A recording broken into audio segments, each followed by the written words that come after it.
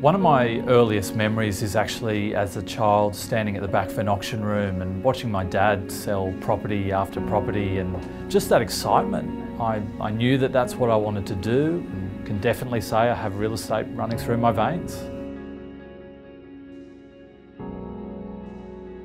For me now it's really about those moments when we're able to deliver an owner a price they'd only ever dreamed of achieving and at the same time knowing that we've helped a buyer secure their perfect home. It's a great feeling, it's really what makes me want to keep doing it every day. I recently became a director at Ray White Lower North Shore. It's something that I am incredibly proud of. Ray White is the largest real estate group in Australia. It's also the most searched real estate brand online, working within a business that for decades has been built on on integrity, customer service and family values.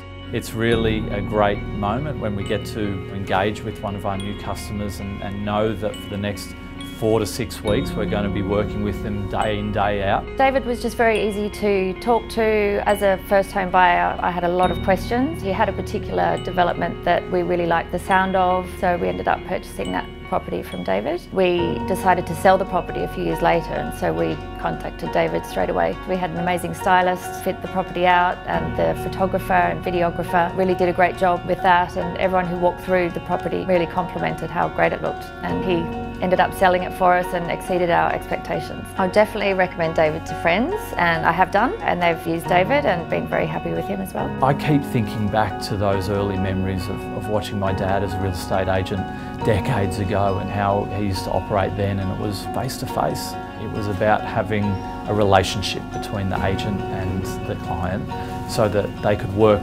together as a team to achieve the best result.